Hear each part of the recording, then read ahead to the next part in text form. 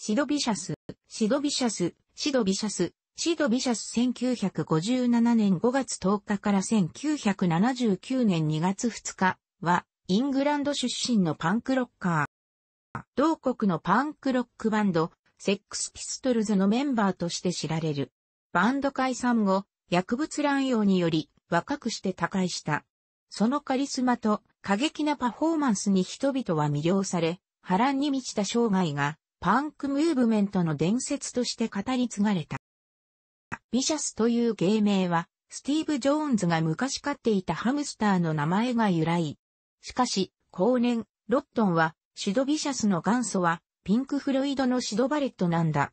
由緒正しい名を奴に受け継がせたんだと述べている、シド・バレットが、シド・ビシャスと本当に呼ばれていたかは不明。シドは、サウスイーストロンドンのルイシャムにて、父ジョン・リッチーと母アンのもとに生まれた。アンは学校を中退した後、イギリス空軍に入隊し、そこでバッキンガム宮殿の衛兵をしていたジンの父と知り合い、彼の息子と交際するようになった。アンは出産後イビサに引っ越すが、結局ジョンとの結婚は破談となった。1965年にクリストファー・ビバリーと再婚し、シドもジョン・サイモン・ビバリーと改名した。もともと彼は、セックスピストルズの熱狂的なファンの一人であり、ファンの頃からピストルズのライブ中に記者が邪魔で、ピストルズが見えないと言ってその記者をベルト代わりに、つけていた自転車チェーンで殴るなど、目立った存在だった。同時期に、ポゴダンス、ライブで垂直にぴょんぴょんジャンプすることを発明している。指導曰く、発明した理由は、ライブ会場にいる敵を潰すためにジャンプして、上から潰す。ということらしい。1976年9月21日、ライブイベントでダムドが演奏中に何者かが投げたグラスが柱に当たり、その破片によって観客の女性が片目を失明するという事件が発生した。この時シドはグラスを投げた犯人として逮捕されたものの、証拠不十分により告訴は取り下げられ釈放されている。しかしは彼女の自助伝の中で、グラスを投げたのは自分だと1年後になってとが告白していたことを明かしている。ビシャスとジョニー・ロットンはファッション関係の専門学校時代からの友人でもあった。その縁もあって、初代ベーシストにして唯一の作曲者、グレンマ・トロックがセックスピストルズを脱げし去ると、バンドのマネージャーであったマルコム・マクラレンの誘いがあって、公認のベーシストとなった。当時セックスピストルズのメンバー間では、スティーブ・ジョーンズとポール・クックは非常に仲が良く、常に行動を共にしており、ポールとスティーブ、グレン、ロットンという対立の構図があった。マネージャーのマルコムは仲を取り持つことをせず、メンバー間をいがみ合わせるように流言した。グレンと折り合いが悪かったロットンは、グレンの脱退後にスティーブとポールに対して発言権を強めたい目論みもあって親友であった指導をベーシストにと強力にマクラーレンにプッシュしたである。その話の直前にダムドのフロントマンとしてオーディションを受けており、最終選考まで残ったのだが、最終選考日に寝坊してすっぽかしたため、ダムドのフロントマンになり損ねている。ジョニー・ロットンが脱退後、フランク・シナトラのマイ・ウェイやエディ・コクランのサム・シングエルス、カモンエブリバディなどのパンクバージョンを収録したシングルをリリース。シドの死後にリリースされたライブアルバムシドシングスにはマイウェイのスタジオ録音バージョンも収録された。セックスピストルズにおける音楽活動の最後はザ・グレート・ロックンロール・スインドルにおける収録である。この収録に際してもパリでのマイウェイの撮影時にすでにシドは普通に行動するのも困難な状態生でヘロインによって蝕まれており、体は痩せ細り衰弱しており、歌詞を覚えさせて一曲を収録するのに一週間近くかかった。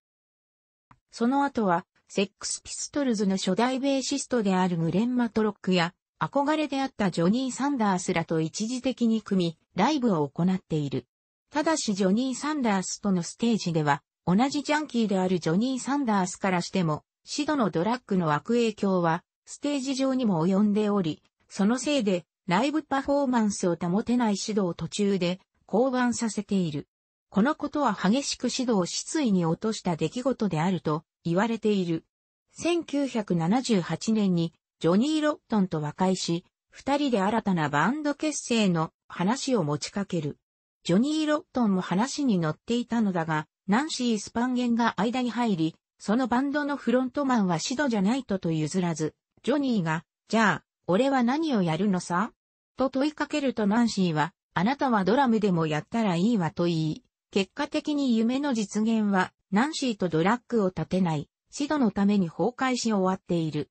1978年9月にニューヨークに渡ったシドとナンシーは、ナンシーの働きかけにより、マクシズで3回ライブを行う。連日ライブハウスは超満員であったが、シドはドラッグによって立っているのがやっとで、マイクスタンドにしがみついている状態で、時折、ステージ上で倒れ込んでしまう。さらには、歌詞を思い出せずに、歌詞カードを手に持ち歌わなければならず、ついには一曲も、まともに歌うことも叶わず、観客からも冷ややかな反応を受ける。3日目のステージでは、ザクラッシュのミック・ジョーンズと共演している。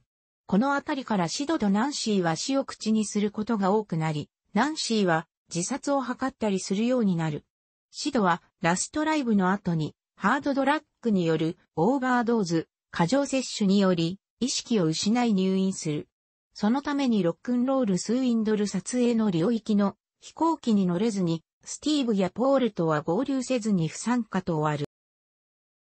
1978年10月13日には、ニューヨークにあるチェルシーホテルのバスルームで恋人のナンシー・スパンゲンの死体が発見された。真相は明らかでないが、凶器のナイフがシドの所有物であったことから、麻薬で錯乱したシド自身が視察したと言われている。しかし、ナイフは指紋が拭き取られている状態であったり、シドの元に入ったばかりのマイウェイの印税2万ドルがすべてなくなっていた。シドはナンシー殺害の時刻には、ツイナールの過剰摂取による昏睡状態となっており、後に医師らにより服用した量から類推するに5時間は昏睡状態であったと言われている。その間に複数人の部屋への出入りも確認されており、その時にシドが昏睡していることを証言している。シドは昏睡状態から意識を取り戻すと血だらけで死んでいるナンシーを見つけ、ホテルのフロントに連絡している。一説には、ナンシーにドラッグを売っていた男が、ナンシーの死の前日には一杯の酒代をせびっていたにもかかわらず、ナンシー殺害の翌日に、新品のブーツとレザーパンツ姿でバーに現れ、血のついたシャツを見せびらかしていたという話や、後にこの人物は、ナンシー殺害をほのめかす発言やナンシーを殺害した場を VTR に収めており、それを販売して人も受けするような話をしていたというが、真相は明らかになる前に病死している。他にも二人が自殺を図り、昏睡した指導死んだと思ったナンシーが自殺したいう説もあるが、指紋が拭き取られて置いてあったナイフと消えた2万ドルの謎とは結びつかない。この時期のシドとナンシーは互いを殴り罵る、激しい喧嘩を繰り返していた。またナンシーは腎臓を病んでおり、その苦痛の激しさから逃れるためにもハードドラッグにすがっていたという。出典、アラン・パーカー著のワニーズ・イノセント。シドとナンシーの暮らしたチェルシーホテルの部屋は事件後にパンクのロミオとジュリエット神話の崇拝者たちの巡礼地となってしまったことに困惑したホテル側により取り壊されランドリー室に作り変えられている。部屋番号も欠番扱いとなり、数字が飛んでいる。警察には逮捕されるものの、レコード会社が多額の金を払い、保釈された。その後も自殺未遂を起こしたり、パティ・スミスの弟をビール瓶で殴るなどの騒ぎを起こした末、1979年2月2日、ついに麻薬の過剰摂取により死亡した。シドが死に至った直接的な理由は、習慣され完全にヘロインが抜け切った体に高純度のヘロインを習慣以前に打っていたのと同じ感覚で第二摂取したことによるもの。そのヘロインは、その夜、シドに愛願された彼の母親が渡したものだった。死後、シドの革ジャンのポケットから直筆の遺書らしきメモが発見される。俺たちは死の取り決めがあったから、一緒に死ぬ約束をしてたんだ。こっちも約束を守らなきゃいけない。今から行けば、まだ彼女に追いつけるかもしれない。お願いだ。死んだらあいつの隣に埋めてくれ。レザージャケットとレザージーンズとバイクブーツを私装束にして、さいなら。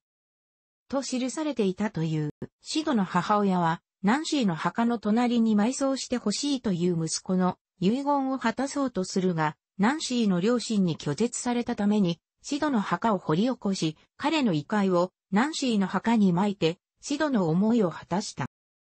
身長6フィート1インチ、約185センチメートル体重7ストーン、約45キログラムライカーズ刑務所週刊時。過激な伝説とは裏腹に、本来は非常に清和で礼儀正しい青年であったとも言われている。ピストルズ加入以前にシドはそのファッションセンスとスタイルの良さからビビアン・ウエストウッドに寵愛され、目立つ存在であった。またシド・ビシャスという芸名を非常に気に入っていて、自分が大好きであったマーベルコミックのヒーローになぞらえて振る舞っていた。ただし彼の独特の考え方において行動しており、既存の社会通念やルールといったくくりを一切無視していたために、周りからは困惑されうる人物であった。シドは自身がロットンや観客に求められているイメージのままに行動することに喜びを感じており、やがてサイモンではなく、シドビシャスそのものへと変わってしまったと母親は語っていい。セックスピストルズ時代はもっぱらライブでは、ステージ上から客を挑発し、エキサイとして向かってきた客と殴り合うことが多かった。アメリカツアー当初は当局への配慮から厳しく、ハードドラッグ禁止されており、監視下で、シドのヘロインの渇望と禁断症状は激しいものだった。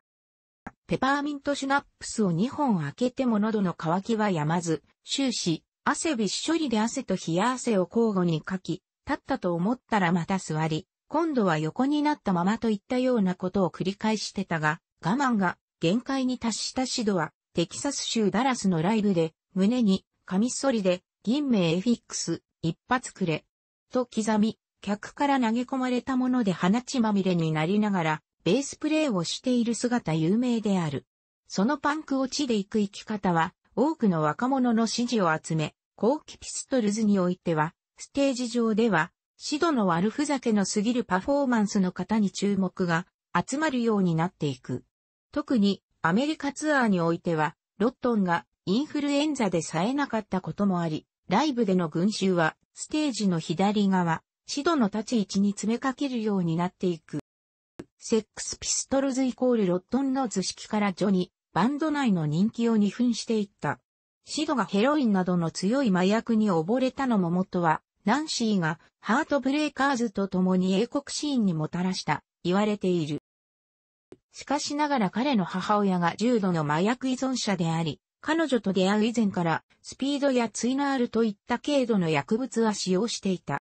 タバコはチェスターフィールドを愛煙していたと言われている。アメリカツアー中のダラスのパーキングエリアでカウボーイが食事をしているシドに、お前がシドビッシャスか？へ、笑えるぜ。そんなにタフだって言うならこれはできるか？と自分の手のひらでタバコの火を消してみせた。それを受けたシドは、ステーキの乗る皿の上に腕を出し、そいつを睨みながら、平然と自分の腕にナイフを突き刺してみせ、腕から滴る血がステーキに垂れているのも、ものともせずに、ステーキを食い続け、カウボーイを逃げ出させている。また、シドの大ファンだという女性ファンが、バックステージで何か思い出になる記念が欲しいと言うと、彼女を寝かせて、フェラチオをさせた後に、彼女の上に排便をしてみせた。ピストルズに加入前は、フラワーズ・オブ・ロマンスとスージーザ・バンシーズにて、ドラムを担当。スージーザ・バンシーズのデビューライブではシドがドラムを叩いている。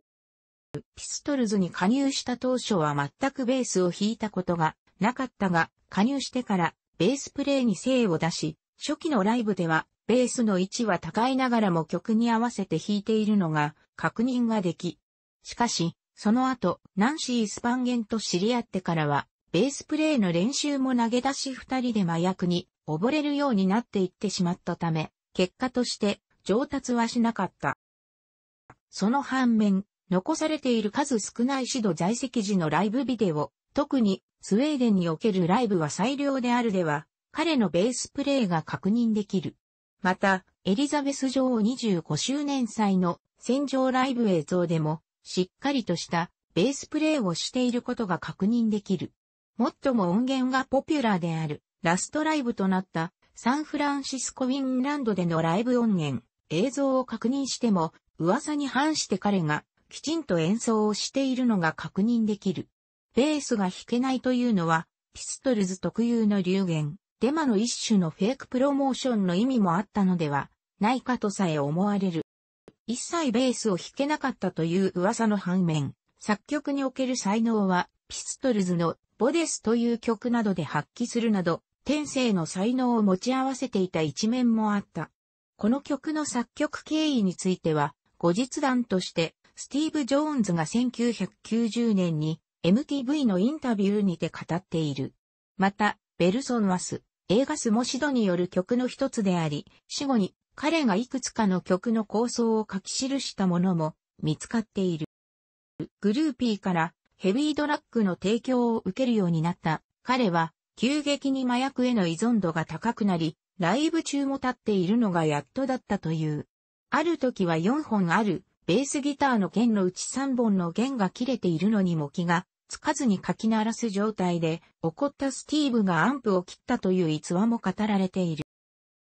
白ボディに黒ピックガードのプレシジョンベースを使用していた。プレシジョンベースを使用した理由は、彼が熱狂的なラモーンズファンだったため、ベーシストの DD ラモーンと同系統のものを使用している。アメリカツアー初公演のサンアントニオのライブでは、集まった2200人強のメキシコ人が、セックスピストルズに対する敵意を剥き出しにし、ステージに詰めかけたため、シドは、ライブの途中でベースを、斧のように構えて、客席を威圧し、何度もベースを振り回し、時には掴みかかる客に殴りかかっていき、ステージ防衛をしなければならなかった。また、テキサス州ダラスにおけるライブでは、ピストルズのライブにエキサイトし、ステージに上がってきた客の肩口を愛用のベースで殴るという事件も起こした。ロットンはシドビシャスにおけるセックスピストルズへの音楽的な貢献はなかったと語っている。売り上げで言えば、シドのシングル、サムシングエルスは発売後2週間で38万2000枚のリリースを記録している。この記録は、セックスピストルズの楽曲のうち最大のヒットソングであったゴッドセーブ・ザ・クイーンを10万枚以上も上回り、事実上のセックスピストルズ関連楽曲では、ナンバー1セールスとなっている。ちなみに、ロットン脱退後にセックスピストルズ名義でリリースされたマイウェイは、指名手配犯のロナルド・ビッグズとのノーワン・イズ・イノセントとカップリングでのリリースであったが、フロントマンが指名手配犯だったこともあって、公共の放送は見合わされた。最高位7位のチャートを記録し、セックスピストルズのプリティ・ベイカントと同等の成績を残した。これにより、カモンエブリバディの制作が決まった。なお、マイウェイの一節には脱退したロットンを馬鹿にする内容の歌詞がシドにより盛り込まれている。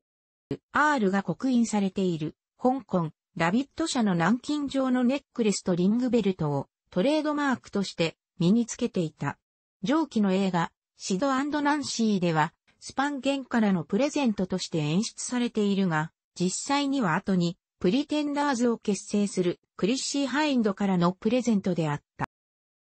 鎖のチョーカーのそのネックレスは、日本においては、シドチェーンと呼ばれ、2018年現在でも通用する単語となっている。リングベルトは日本においては、シドベルトと呼ばれ、ジョーン・ジェットからのプレゼントであった。もともとは SM グッズの中の一つであった。アメリカツアー時に愛用したロングブーツはチッペバ製の17インチ筒状のエンジニアブーツ型番27909であった。これはシド憧れの人物であるジョニー・サンダースが愛用するブーツと同様であったため、ツアー移動中のバスの中において持ち主であったボブグル、エンが居眠りしている暇に拝借し、その履き心地が気に入り、手放したくなくなったシドが、グルーエンの喉元にナイフを突きつけ強引に自分のものにしている。同様に愛用していたレザージャケットは50年代後期60年代初期頃に販売されたペニー S のツースターモデルのヴィンテージジャケットでスティーブ・ジョーンズから譲り受けたと言われており、左胸にスタッズにテスタイブと書かれている。右胸にはアメリカ陸軍の帽章が飾られている。右足の太ももを飾っていたのは、女性用のキャットガーターで、アメリカツアー時は、外周が黒のレースに赤いレースで、センター体が入り、赤いリボンがつき、リボンの外周には黒いレースついていた。映画、ロックンドールスインドルでは、白のレース体の外周に黒いレースがつき、白いリボンを溶けた状態で長く垂らしていた。シドの母案は、マクラーレンとの調停により1986年には25万ポンド、以後毎年10万ポンドをシドビシャス関連グッズの印税として受け取っていた。しかしその後は美容区に悩まされ、1996年9月3日に64歳で服毒自殺した。自殺に再し当てた遺書には、ピストルズ再結成の記者会見の席で、ロットンが発した、シドが生きていたってクソの役にも立たないぜ。あいつは、革ジャンをかけるためのハンガーさ。ただの役立ただった。という発言に対する怒りと、シドがかわいそう。草場の陰であの子は泣いているわ。と、記している。現在シドビシャスに関する権利は、シドの老いに引き継がれている。またシド愛用の遺品は時折、サザビーズに出品され高額で取引されている。楽しくご覧になりましたら、購読と良いです。クリックしてください。